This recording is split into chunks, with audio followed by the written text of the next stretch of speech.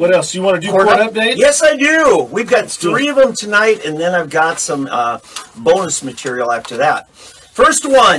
remember the Catholic kids from Covington Catholic School uh, in uh, Sandman. yes, Nick Sandman. Nick Sandman. And all the liberals have said, "Isn't that a punchable face? Don't you just want to hit that child in the face?" And Okay.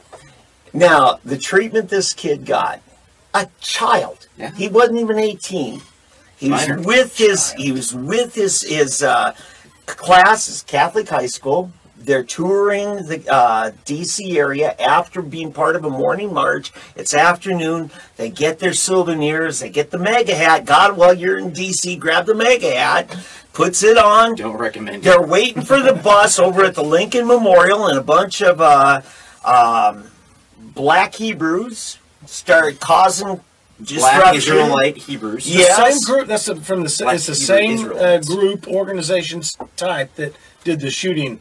Uh, there was a shooting. Yeah, they had a That's mass my shooting. understanding. Whether, yeah, not Uh, the same people, but same the ideology. They, affiliated they are a, group, they yeah. are a racist group. Yeah, but but but let's get back to this. So then an opportunity comes for one of these um, North American Indian tribal, you know, self-appointed what are you, community activists? Do the do tribes have community activists? I guess they do. They have AIM. Tribal activists. Yeah, there you go.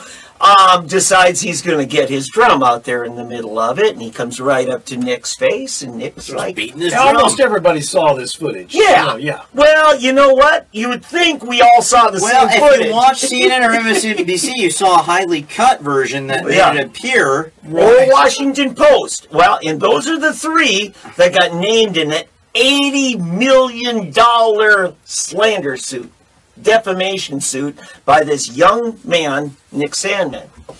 Well, CNN wants out. They want out bad. They don't need this. They just settled out of court. Nick said, Yep, we settled with CNN. He tweeted that. 31,000 people clicked like on his tweet. And uh, they didn't say how much, but I don't assume that he's getting uh, FAFSA uh, grant to go to college. I think No more Pell. Grants, huh? I think Nick is set for life.